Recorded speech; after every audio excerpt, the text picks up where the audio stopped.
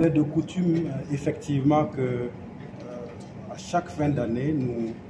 prodiguons un certain nombre de conseils aux usagers de la route, mais aussi à l'ensemble des populations pour lesquelles nous sommes recrutés, formés, équipés pour pouvoir donc apporter la prestation de service public, c'est-à-dire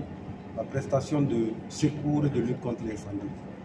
Il est important de noter qu'à chaque fin d'année, malheureusement, nous enregistrons le plus gros de nos statistiques en, nombre, parce que très souvent, c'est à cette période d'année que soit il y a un relâchement ou alors par l'effet de des fêtes, les usagers de la voie publique se donnent souvent certaines libertés au point de ne pas respecter certaines règles de la circulation. Et malheureusement, nous enregistrons beaucoup de cas d'accidents de circulation et quelquefois des pertes en vie humaines. Donc notre conseil serait essentiellement que les usagers de la circulation puissent respecter le code de la route et puis surtout,